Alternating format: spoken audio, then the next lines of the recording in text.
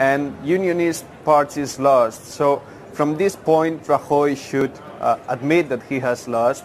He gambled calling this election because he had no power to do this. Uh, and he has lost the election. He has failed. So he should tell his friends in the judicial system to release our political prisoners, to put an end to this witch hunt, and sit at the negotiating table and start uh, fruitful dialogue with the legitimate president of Catalonia, which is Carles Puigdemont. Madrid cannot sack our elected politicians. Our leaders are not Madrid servants. They are there to serve the Catalan people. M- Madrid does have the law on its side, though, in, in, all of this. And Mariano Rajoy is saying that, um, yes, he, he could sit down and uh, negotiate and discuss and, and talk, but within a legal, excuse me, a legal framework, and that's the crux of the matter, within a legal framework.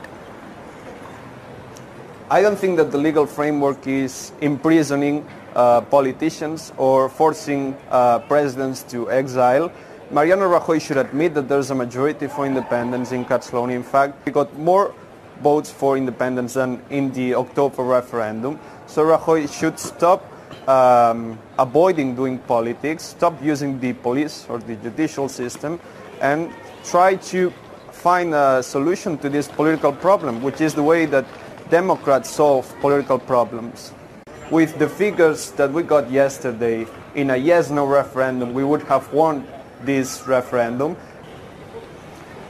Rajoy is a political corpse because his party only got three MPs, three MPs, 4% of vote and he is ruling the Catalan government.